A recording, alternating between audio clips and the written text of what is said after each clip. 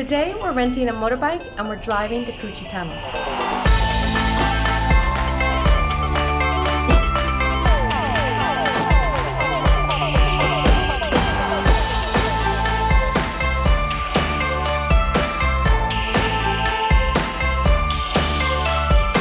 Good morning from our apartment building in Saigon. So let me tell you, We've been staying in this apartment building for a week. It's 10 floors. There are a number of B&Bs, but it's also still very much a local spot and it's also like a little mini mall. So as you go down each floor, people are very entrepreneurial and they will have a restaurant or they have nails or they have uh, laundry out of their apartment. So you just kind of need to know which apartment does what. And so when we decided to go to Cu Chi Tunnels, we would drive a motorbike instead of taking a tour. Our Airbnb host said, no problem, just go downstairs, talk to the guy at the desk, he will rent you a motorbike. It's 150,000. He said the same thing, it's 150,000. Maybe locals get a better price, but I think when you're here in Vietnam, don't stress over the local price or foreign price. You know, you can negotiate some things. This rate is fixed, but some people are so intent on getting the local price.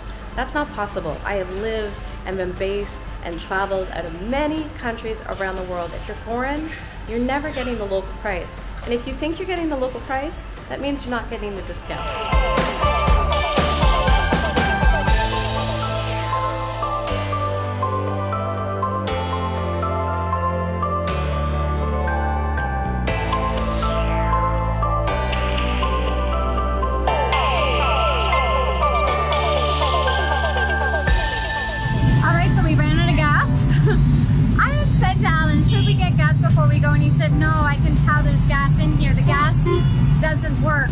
Meter. But I think it might work because we're about half hour in and we ran out of gas.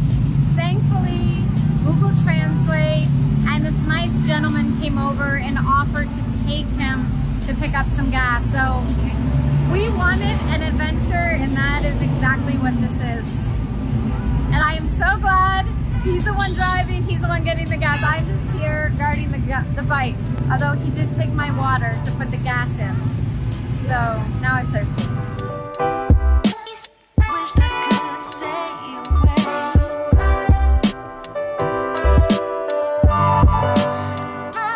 I just want to explain a little bit about what it's like to drive here for me as a foreigner. So it feels a lot like Jakarta, but how I have noticed it works is that it's like ants. It's like this group of ants and you kind of move together and there's a camaraderie with motorcyclists. So if someone cuts you off, you're not screaming at them, you just kind of move out of the way and you all work together. And what you're working together against are the cars. Now the difference I would say, I don't know if you agree, is that in Jakarta, I feel like motorcycles own the road, they have priority, and then the cars next. So the cars let motorcycles go first. And so here, unlike Jakarta, cars don't give you the right of way. And so even crossing the street, the motorcyclists I trust, but the cars I don't because they're not as agile. And I think they believe just because they're bigger that they own the road. And so that is actually a little bit more dangerous. They just beep, they just constantly beep to tell you to get out of the way. But that's not really the case in Jakarta or Indonesia.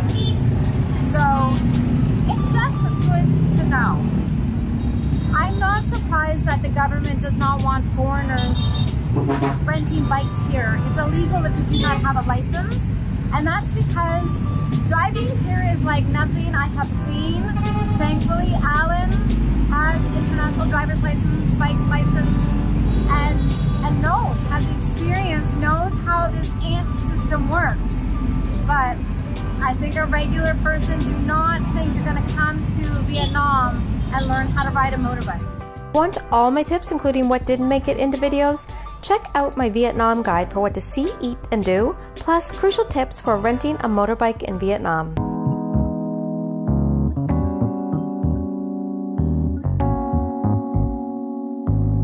So we decided this was a great time to take a break, a breakfast break. That's because we haven't had breakfast yet today. Alan had some Milo, that was it. Now we said, let's just find whatever we can to eat. So we stopped off at this place and I asked them if they had bun bo because it's 10:30. Maybe they still don't have it, and they're like, "What?" Uh, and then I pointed the sign, and she was like, "Oh, bun bo." But this is a beef noodle dish with rice noodles, thick ones. They look fantastic, almost like udon style thick.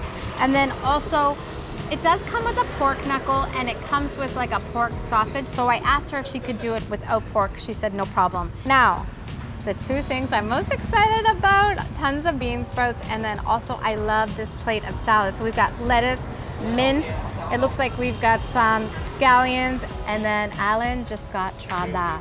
Chada is an iced tea, very typical here.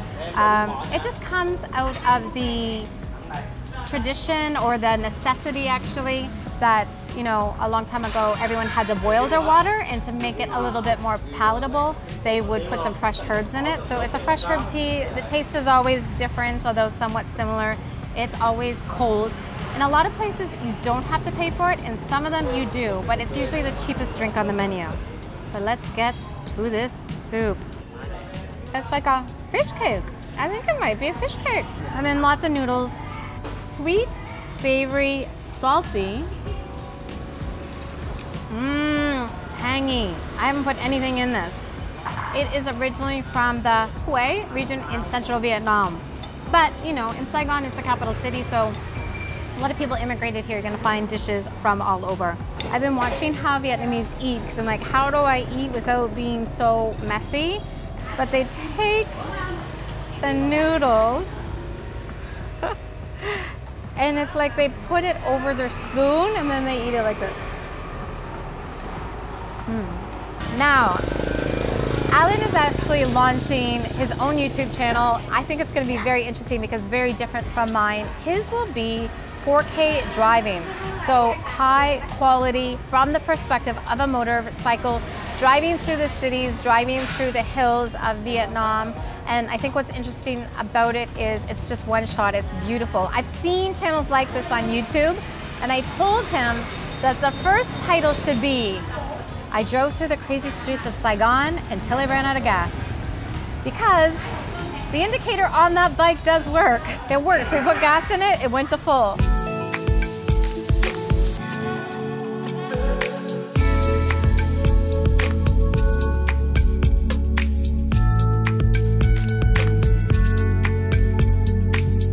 So we've made it to Cu Chi Tunnels. Now, Cu Chi Tunnels, you can get here by bus. I think you can get here by train. You can get here by taxi. You can take a tour. This is something that Alan wanted to do. I've done it before, but it was 15 years ago. I don't really remember it, but I really like the idea of coming out here by bike. That said, Google Maps instructions is wrong. First, it took us to the back entrance where a bunch of kids tried to tell us that we had to go away. Now I understand why the kids didn't want to take us to the proper entrance because it's actually quite far away. And then Google Maps took us to the second entrance, which was not open. And then finally, so many great people around here just told us where to go. We are definitely paying more than other people. I think foreigners in general pay twice as much. So this must be the guide ticket, which is 35 and then 90 for the entrance. All right, so we got here, and this is actually a whole complex. So it's nice to come on your own because there are a number of things to do here. A lot of Vietnamese here. It looks like there's a school trip here. It looks like there's some families here because there is a pool.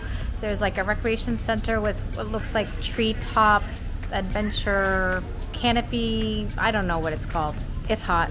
It's really, really hot. And so we decided first to get something. I wanted ice cream, but they only had flavors of durian and red bean. And so the woman here laughed because, of course, she loves durian. Alan loves durian. I don't want durian right now. I don't want creamy durian. So instead I got this. It says winter melon, but I think it might be soursop. Mmm. Oh my goodness. I don't like this. It's like a fruit that was mixed with boiled corn. Some people say that I always like the food that I eat. No. Bitter winter melon, not a fan. No.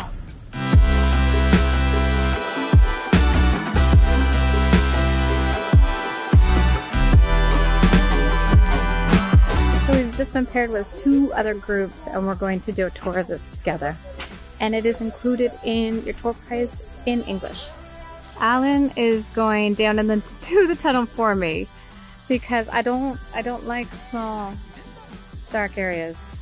But he's promised to shoot some video. Have fun!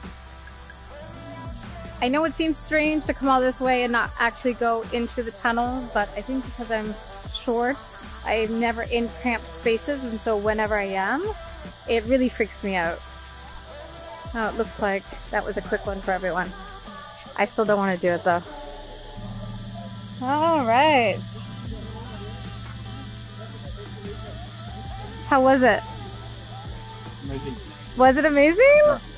Okay, this seems like this is going to be a very quick tour. This guy is really speeding through.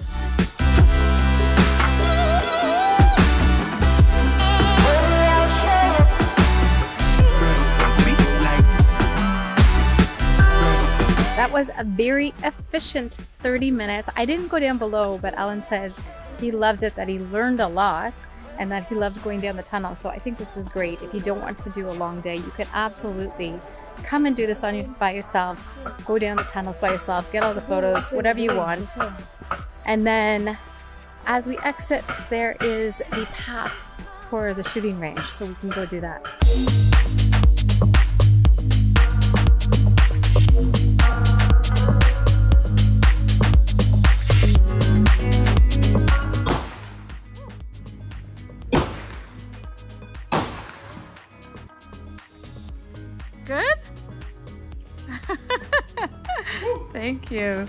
So, uh, yeah, we gotta get going. It's an hour 45 back, but if we wait too long, um, we're gonna get stuck in rush hour. So the goal is to make it as far as we can, maybe even all the way, but I did it. 145 on the bike at once, that's a lot. So also just to let you know a little bit about prices, over there at Cu-Chi Tunnels, if you buy the bullets there and you take the shuttle here, uh, it's more expensive. So I think the cheapest bullet there was 60. Here, the most expensive bullet was 60. That said, we ended up buying 60 anyway. But I think actually I'm gonna check the prices. What the M15? What the M15? M16. See, look how much I know. How much it was. The reason I did not shoot a gun here is because I actually did this 15 years ago. I've got a picture to prove it. So this is all about Alan. Alan's day of visiting the Cu-Chi Tunnels.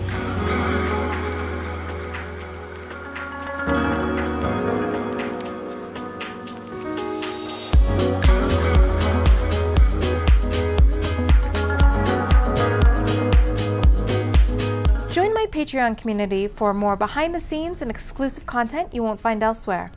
You can also find me on Instagram and be sure to like this video and subscribe to my channel. All of these things make my day. Thank you so much for your support.